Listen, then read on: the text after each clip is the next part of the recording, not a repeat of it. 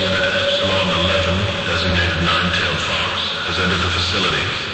All remaining survivors are advised to stay in the evacuation shelter or any other safe area until the unit has secured the facility. We'll start escorting personnel out when the escaped SCPs have been recontained.